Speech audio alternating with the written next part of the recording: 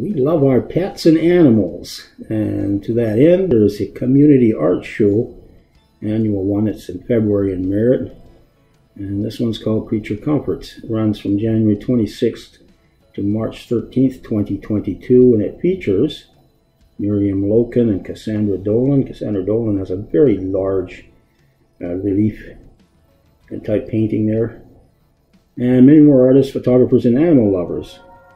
They say to come and enjoy the art, photos, and stories at their location at the corner of Voght and Nicola, that's 2051 Voght Street.